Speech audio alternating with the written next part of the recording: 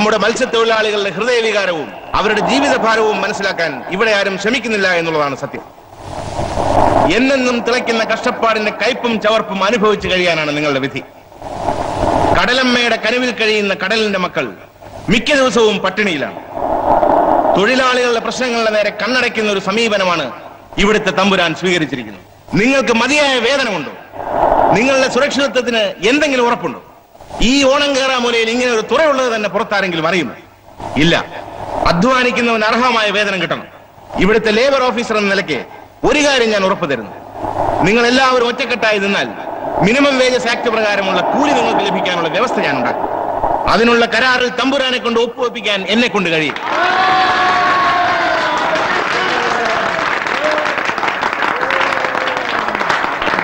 ഈ ധർമ്മസമരത്തിൽ നിങ്ങളെല്ലാവരും ഒറ്റക്കെട്ടായി എന്നോടൊപ്പം അണിനിരന്നാൽ തമ്പുരാനെ കൊണ്ട് നമ്മുടെ ന്യായമായ ആവശ്യങ്ങൾ സമ്മതിപ്പിച്ചെടുക്കുന്ന കാര്യം ഞാൻ ഏറ്റു.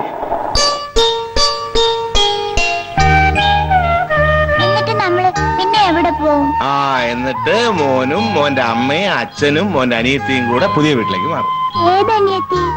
അതൊക്കെ ഉണ്ട്. നീ നോക്കിക്കോ. ഈ മനുഷ്യന്റെ ഒരു കാര്യം മോന്റെ മുമ്പിൽ വെച്ച. അവനൊന്നും മനസ്സിലായിട്ടില്ല. നീ വിസ്തരിച്ച് വിസ്തരിച്ച് കുളമാക്കാതിരുന്നാ മതി. അല്ലേ മോനെ? ദേ.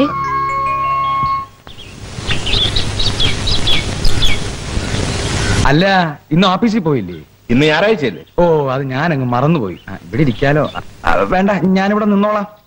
എന്താ വിശേഷിച്ച്? എന്താ പറയാ?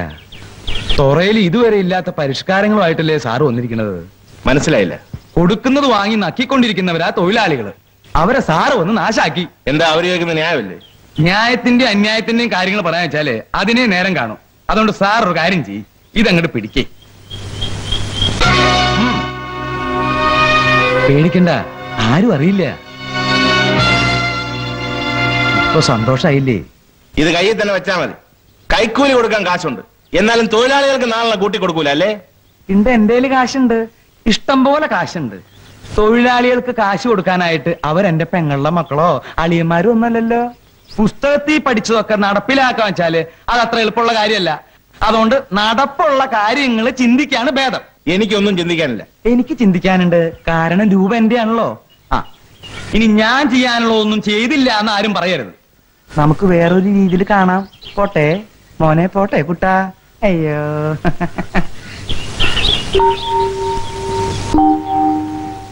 എടേ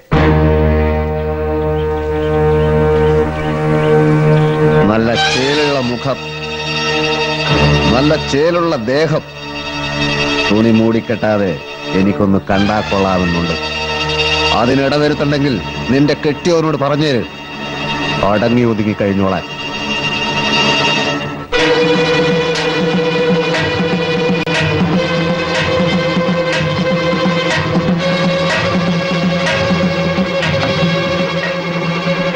എടോ എന്താ സാറേ? പിണിയാളുകളെ വിട്ട് ഭീഷണിപ്പെടുത്തുകയാണല്ലേ? അല്ല ഞാൻ മറ്റേ ഈ മാറടോ? തന്തയ്ക്ക് പിറന്നവനാണെങ്കിൽ അവൻ എന്റെ അടുത്തേ വരുള്ളായിരുന്നു. വീട്ടിലിരിക്കുന്ന പെണ്ണുങ്ങളെ വേണ്ടി കാര്യം സാധിക്കാന്ന് വിചാരിച്ചത് അത് തെറ്റാണ്. അയ്യോ സാർ ഇരിക്കൂ. കാര്യങ്ങൾ വിശദാകട്ടെ. വേണ്ട. തന്റെ ഈ സോപ്പിടിയിലും കാക്കാപിടുത്തവും ഒക്കെ ഞാൻ കുറെ കണ്ടതാ. രണ്ട് പോലീസുകാർ കയ്യിലുണ്ടെന്ന് വെച്ച് എന്തും ചെയ്യാന്ന് വിചാരിച്ചോ? എടോ തന്റെ തോന്നിയ ദിവസം ഞാൻ റിപ്പോർട്ട് ചെയ്തിട്ടുണ്ട്. രണ്ടു ദിവസം തന്നെ തൊപ്പിയാൻ തെറിപ്പിക്കും. അല്ല എന്താ ഈ പറയണേ? ഒന്ന് ഓർമ്മിച്ചോ. തന്റെ ആ വാടക കൊണ്ടുണ്ടല്ലോ ചെമ്പരുന്ത്. അവനെ തുറയിൽ ഒരുത്തനെ തൊട്ടാൽ തന്റെ ഈ വീടും തോണിയും ഒന്നും കാണൂല.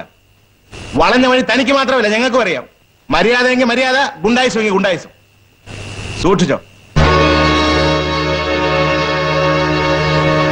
അല്ല എന്റെ കാര്യം കുഴപ്പത്തിലാവോ? എന്റെ കാര്യം കുഴപ്പത്തിലാവോന്ന് ഞാൻ വിചാരിക്കണേ.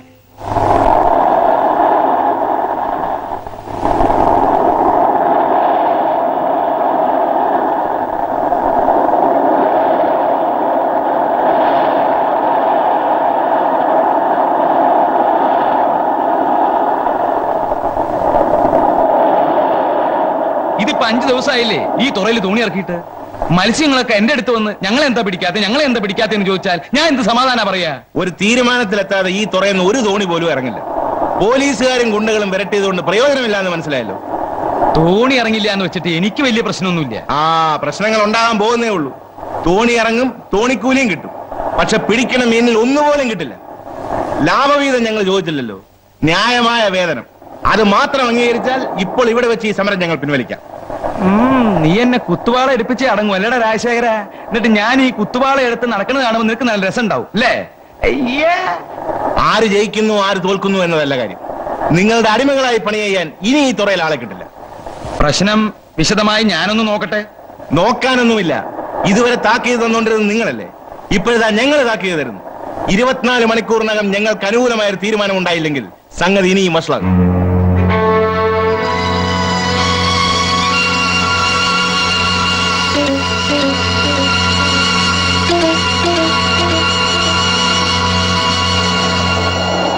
ദേ, സമ്മതിച്ചിരിക്കുന്നു. തൊഴിലാളികളായാൽ ഇങ്ങനെയൊക്കെ വേണം. ഈ ഐക്യം എന്നൊക്കെ പറയുന്നത് ഇതാ. എനിക്ക് എന്റെ തെറ്റുകളെല്ലാം മനസ്സിലായി.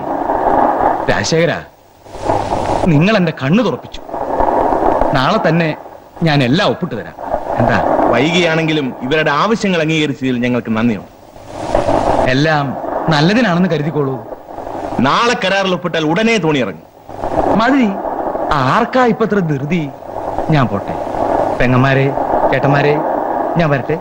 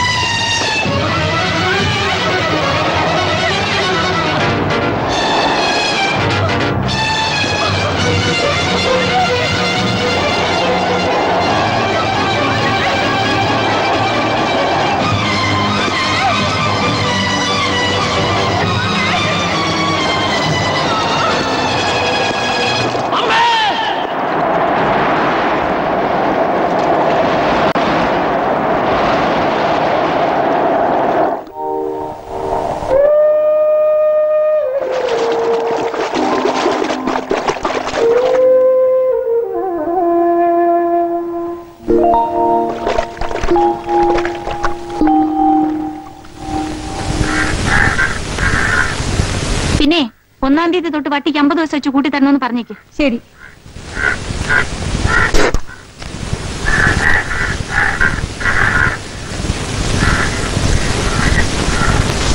സംഗീത. ആ നീ വയ്ക്കോ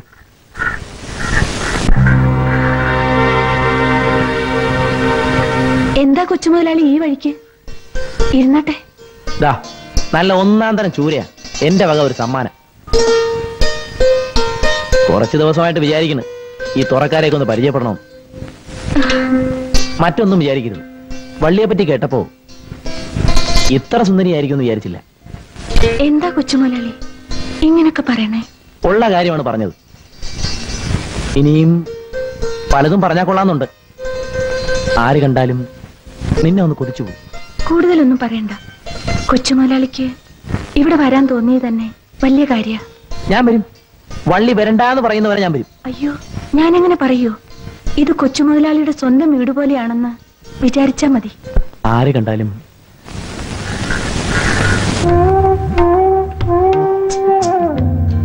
നിന്നെ ഒന്ന് കൊതിച്ചു പോ. എന്താ നോക്കണത്? അല്ല.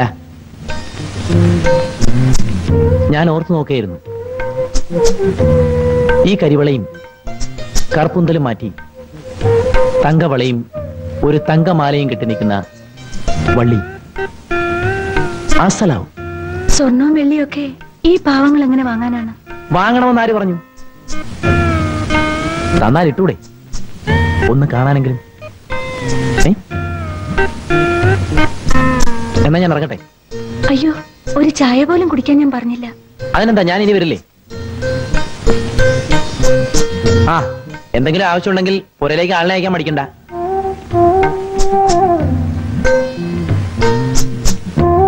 പിന്നെ വീട്ടിലെ ഞാൻ ഒറ്റയ്ക്കാ?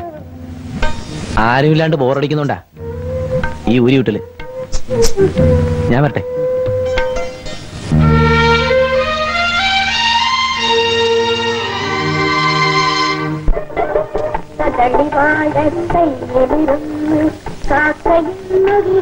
വെള്ളം കുറച്ച് കടുപ്പം കൂട്ടി ഒരു ചായ. എന്താ വർഗീസേ? ഇതൊക്കെ ഒന്ന് വൃത്തിയാക്കി ഇട്ടൂടെ. അതിനുള്ള വരവൊക്കെ വേണ്ട കൊച്ചുമുതലാളി കള്ളന്മാര് കാശൊന്നും തരൂലെന്നേ ഒക്കെ പറ്റിക്കല. തവണത്തെ ചായരോടി കഴിഞ്ഞാ കട പൂട്ടണമെന്ന് വിചാരിച്ചിരിക്കുക വേറെ വല്ല പണിയും നോക്കണം. ചെമ്പരന്തി ഇപ്പൊ കടയിലോട്ടൊന്നും വരാറില്ല? ആ മൂപ്പരിപ്പോ സ്ഥിര താമസം ഷാപ്പിലാക്കിയിരിക്കുക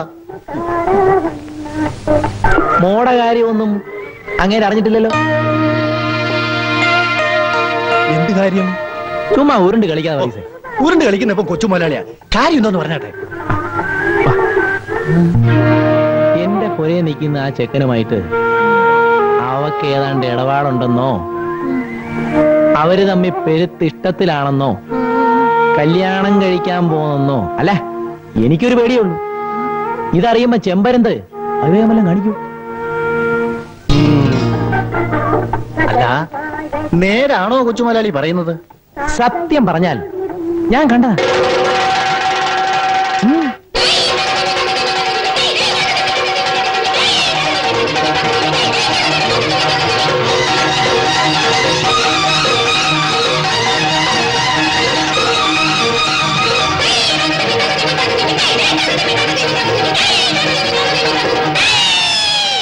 വിടടി. വിടടി. വിടാനാ പറഞ്ഞത്. ആരെങ്കിലും എന്തെങ്കിലും പറയണ കേട്ടോ. എന്റെ മോളെ പറ്റി വെറുതെ ഒന്നും പറയാനുള്ള ചങ്കൂറ്റി കടാപ്പുറത്ത് ആർക്കും ഉണ്ടാവില്ലടി. പറഞ്ഞിട്ടുണ്ടെങ്കിലേ അതിലെന്തേലും നേരും ഉണ്ടാവും. മാറുന്നില്ല അക്ക അക്കനിനി മച്ചാനെ കണ്ടെങ്കിൽ ജയിലിൽ പോയി കണ്ടാമതി കേട്ടാ.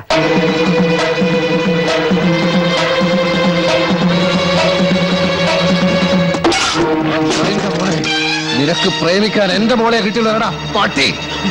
എല്ലാത്തിനെയും കൊന്നു കുഴിച്ചു എന്താ നിങ്ങൾ എന്തായി കാണിക്കുന്നത്? ചെമ്പരന്തേ, വിടാൻ. മാറ് ചെമ്പരന്തേ അങ്ങോട്ട്. വല്ലോരും വല്ലോം പറയുന്ന കേട്ടോണ്ട് തുള്ളാതെ ചെമ്പരന്തേ കാത്തുവും ചന്തവും തമ്മിൽ നിങ്ങൾ പറയുന്ന പോലെ ഒരു ബന്ധമില്ല. കാത്തു അങ്ങനെ ഒരു പെണ്ണുമല്ല ഇത് നിങ്ങളുടെ ശത്രുക്കൾ വെറുതെ പറഞ്ഞുണ്ടാക്കുന്ന. ആരോരും ഇല്ലാത്ത പാവം ചക്കന. അവന്റെ കയ്യിൽ നിന്ന് എന്തെങ്കിലും തെറ്റ് വന്നിട്ടുണ്ടെങ്കിൽ നിങ്ങൾ ക്ഷമിക്കണം. ഇനി മേലും ഒന്നും ഉണ്ടാവില്ല. ഓളെ പിന്നാലെ എങ്ങാനും നടന്നെന്ന് ഞാൻ അറിഞ്ഞാൽ ഒന്ന് കടലിലെറി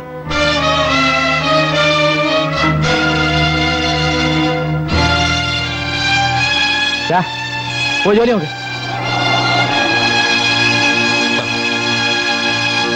തെറ്റ് നീയാണ് ചെയ്തത്. പുരനിറഞ്ഞു നിൽക്കുന്ന ഒരു മോളുണ്ടെന്നുള്ള കാര്യം നിനക്ക് എപ്പോഴെങ്കിലും തോന്നിയിട്ടുണ്ടാ? കണ്ട പെണ്ണുങ്ങളുടെ വീട് കയറി നിരങ്ങുമ്പം ഈ ആലോചിക്കേണ്ടതായിരുന്നു. ഓരോ ദിവസവും എന്താണ് നടക്കുന്നതെന്ന് പേടിച്ച് നമ്മളിവിടെ കഴിയാണ്. ഈ പുരയ്ക്ക് പെരുത്ത് ശാപമുണ്ട്. ഈ കൊലയ്ക്ക് കൊടുത്ത മനുഷ്യന്മാരുടെ ആത്മാക്കൾ ഈ തുറ മുഴുക്ക വട്ടം ചുറ്റുന്നു. ഈ പുരയും ഈ തുറയും കരിയുന്നത് കാണാറ്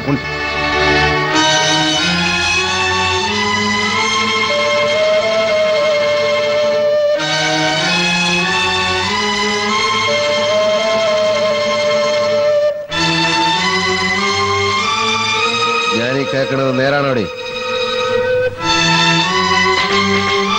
ആ ചെക്കനുമായി നിനക്കെന്താടി ഇടപാട്? ചോദിച്ചത് കേട്ടില്ലേ? എനിക്ക് ചന്തുവിനെ ഇഷ്ടമാ.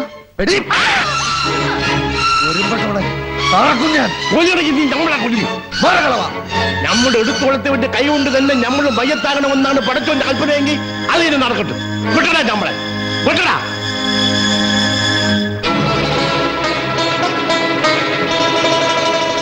ഇനി നീ വീട്ടിൽ നിന്ന് പുറത്തിറങ്ങിയ അന്ന് നിന്റെ അവസാനമായിരിക്കും ഓർത്തോ.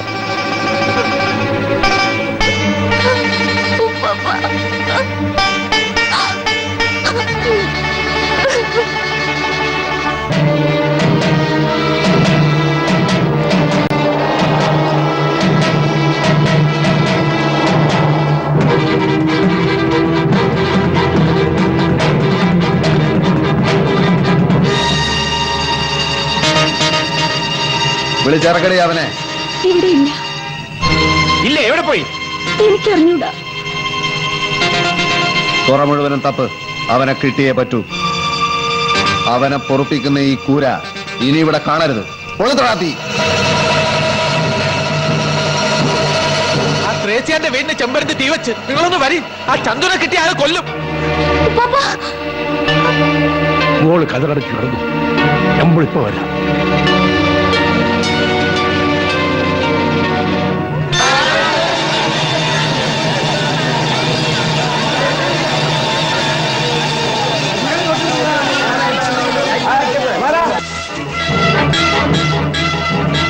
ആ മീൻപറയിലെ ചന്തൂർ എവിടെയെങ്കിലും കണ്ടോ? ഇല്ല.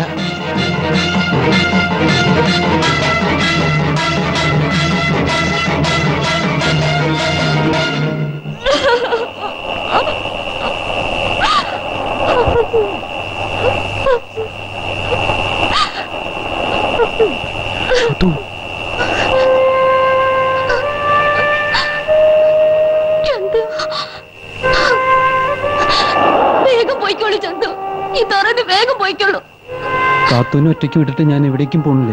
വേണ്ട ചന്തു. അപ്പന്റെ കണ്ണിൽ പെട്ടാൽ പിന്നെ ഒരിക്കലും എനിക്ക് എന്റെ ചന്തുവിനെ കാണാൻ പറ്റില്ല. അവർ കൊല്ലും. ഞാൻ എവിടേക്ക് പോവുക എവിടേക്കെങ്കിലും? ഈ കടാപ്പുറത്ത് എവിടെയെങ്കിലും ഒരു കൊച്ചു വള്ളം കാണും. വെളുക്ക് മുൻപ് ഈ തുറ കാണാത്ത ദൂരത്തിലെത്തണം. ഞാൻ കാത്തിരിക്കാം ചന്തു. ചന്തു വരുന്നത് വരെ ഞാൻ കാത്തിരിക്കാം. വരൂ വേഗം വരൂ.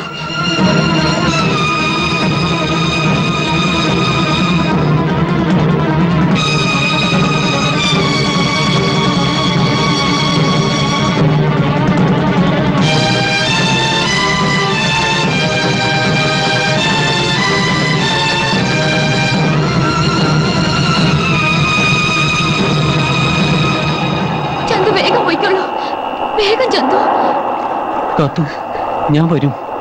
സ്വന്തമായി ഒരു കൊച്ചു വെള്ളവും ഒരു കൊച്ചു കുടി ഉണ്ടാക്കിയിട്ട് ഇതുപോലെ നിലാവുദിച്ചിക്കുന്ന രാത്രിയിൽ നിന്നെ കൊണ്ടുപോകാൻ ഞാൻ വരും.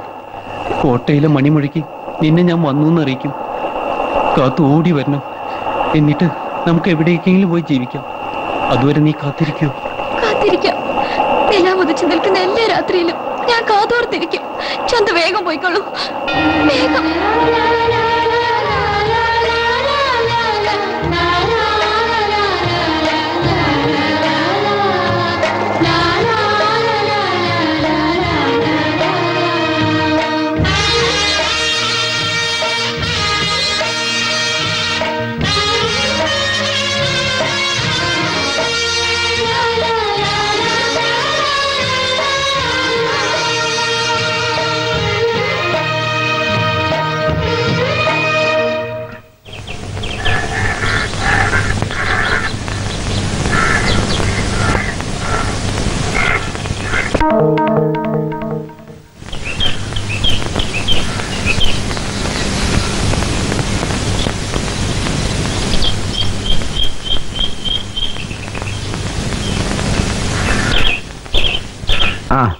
എല്ലാം ഞാൻ അറിഞ്ഞു.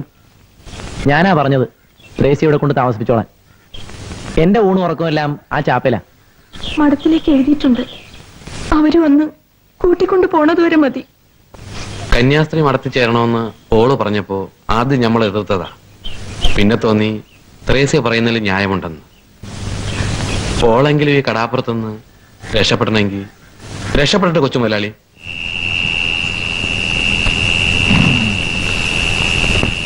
ആ മച്ചാനെപ്പ വന്ന്? അവളെവിടെടാ? മുനിയാണ്ടി മാമന്റെ വീട്ടിൽ പോയി കേട്ട.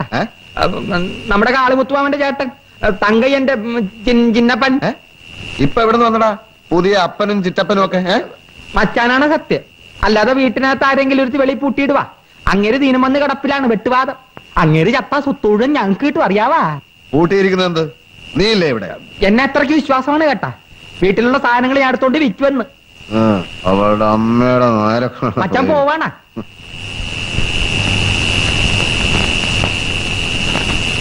ചെമ്പരന്തിന് പുതിയ വപ്പാട്ടിയെ തപ്പണതാണ് നല്ലത് കേട്ട. അക്കന്റെ വലയിൽ ഒരു കൊമ്പൻ സ്രാവാണ് വീണ് കിടക്കണത് അറിയാവാ? എന്റെ പുതിയ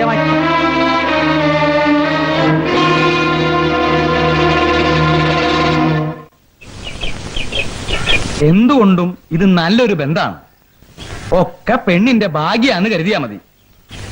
സ്വന്തമായി മൂന്ന് നാല് വള്ളം വലി വലിയുണ്ടെന്നാ പറയണേ. ഇനി ഇപ്പൊ ഒന്നും നോക്കാനില്ല. അവൻ പെണ്ണിനെ പൊന്നുപോലെ നോക്കും. ആൾക്കാർക്ക് അവളെ കുറിച്ച് അതും ഇതൊന്നും പറയാൻ ഇട കൊടുക്കാണ്ട് ഇതങ്ങട് വേഗം നടത്തുക. തമ്പ്രാൻ പറയണ പോലെ എന്റെ മോക്ക് എന്തെങ്കിലും ആയിന്ന് വന്നാൽ എനിക്ക് സഹിക്കില്ല തമ്പ്ര. ചെറുക്കനും കൂട്ടരും അടുത്ത ആഴ്ച വരും പെണ്ണ് കാണാൻ. വേണ്ട ഒരുക്കങ്ങളൊക്കെ ചെയ്യാം. ആ പിന്നൊരു കാര്യം കൂടി. ആ ചെക്കൻ നാട് വിട്ടുപോയ സ്ഥിതിക്ക് നീ ഇനി പെണ്ണിന്റെ മുഖത്ത് ചട്ടകം പഴിപ്പിച്ചു കുത്തുകയോ വിരൽ വെട്ടിക്കളയോ ഒന്നും ചെയ്യണ്ട. അങ്ങനെ ചെയ്താൽ പെണ്ണ് കാണാൻ കൊള്ളില്ല എന്ന് പറഞ്ഞ് ആ കല്യാണം നടക്കില്ല. ഇനിയിപ്പൊ കല്യാണം നടക്കണ്ട എന്നുണ്ടെങ്കിൽ അങ്ങനെ ആയിക്കോളൂ. ഞാൻ പറഞ്ഞത് മനസ്സിലാവുണ്ടല്ലോ. മരക്കാത്തി പെണ്ണ് പഴിച്ചാൽ കടാപ്പുറം മുടിഞ്ഞു പോവും. അതുകൊണ്ട് പെണ്ണിനെ കെട്ടിച്ചയക്കാനുള്ള പുറപ്പാടാണ്. രണ്ടു ദിവസം പെണ്ണ് കാണാൻ വരുന്നാ പറഞ്ഞേ. ഇല്ല. ഈ കടപ്പുറത്തുനിന്ന് അവളെ ആരും കൊണ്ടുപോകില്ല കൊണ്ടുപോകാൻ ഞാൻ സമ്മതിക്കൂല. ഉടനെ എന്തെങ്കിലും ചെയ്തേ പറ്റൂ. ആ ആദ്യം നീ ആ സൈക്കിൾ എന്താ പറഞ്ഞ? എന്ത്? ആ പള്ളയിലുണ്ട് ഗർഭം. ആർക്ക്? ചെമ്പരുന്തിന്റെ മോക്ക്.